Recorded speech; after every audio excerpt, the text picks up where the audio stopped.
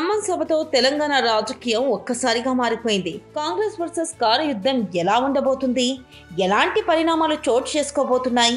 మూడు నెలల్లో రాష్ట్రంలో ఏం జరగబోతుందనే చర్చ సాగుతుంది. ఖమ్మం తెలంగాణ జనకర్చన సభను కాంగ్రెస్ ప్రతిష్టాత్మకంగా తీసుకుంది. ఎన్నికల సభ ఇక్కడితోనే మొదలు అని అసలైన యుద్ధం ఇకపై ఉంటుందని ప్రకటించేసింది. ఇది జస్ట్ టీజర్ మాత్రమే అని అసలు సినిమా మూడు నెలల్లో చూపిస్తామని అన్నట్లుగా బీఆర్ఎస్కు సవాల్ విసురుతున్నారు కాంగ్రెస్ నేతలు. దీంతో రాజకీయం ఆసక్తికరంగా మారింది. ఇదంతా ఎలా ఉన్నా ఈ సభ చుట్టూ జరిగిన జరుగుతున్న పరిణామాలే హాట్ టాపిక్గా మారింది. తెలంగాణ జనగర్జన అడ్డుకునేందుకు బీఆర్ఎస్ నేతలు ప్రయత్నిస్తున్నారంటూ కాంగ్రెస్ నేతలు చేస్తున్న వాదన ఇప్పుడు చర్చనీయాంశంగా మారింది. ఎప్పుడూ మౌనంగా ఉండి ఎలాంటి పరిస్థితుల్లోనూ ఎమోషనల్గా స్ట్రాంగ్గా కనిపించే పొంగులేటి కూడా బీఆర్ఎస్ మీద కేసీఆర్ మీద నిప్పులు చెరుగుతున్నారు. సభను ఆపేందుకు కారు పార్టీ కుట్రలు చేస్తుందని ఆరోపణలు గుప్పిస్తున్నారు. అధికార దాహంతో ఖమ్మంలో భయానక వాతావరణం క్రియేట్ చేశారని ఫైర్ అయ్యారు.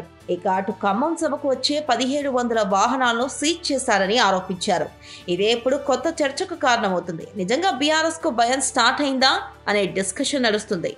పొంగులేటి అంటే ఒక్క నాయకుడు కాదు. ఉమ్మడి ఖమ్మం జిల్లాలోని దాదాపు ప్రతి నియోజకవర్గంలో ఆయన ప్రభావం ఉంటుంది. ప్రతి నియోజకవర్గంలో గెలుపోటమును డిసైడ్ చేసే స్థాయి ఉంది పొంగులేటికి. అలాంటి వ్యక్తి కాంగ్రెస్లో చేరారు. తనకు అవమానం జరిగింది అనుకున్నారు. తన స్థాయి ఏంటో బీఆర్ఎస్కి చూపించాలి అనుకున్నారు. కానీ రెండు లక్షల మందితో జనగర్జన సభ ప్లాన్ చేశారు. అసలే జోష్లో ఉన్న కాంగ్రెస్ ఈ సభను మరింత ప్రతిష్టాత్మకంగా తీసుకుంది. దీంతో Janagarjana hot topic of the పాలిటిక్స్గా మారింది. ఇక మరోవైపు సభ వేళ బీఆర్ఎస్కు మరో భారీ షాక్ తగిలింది.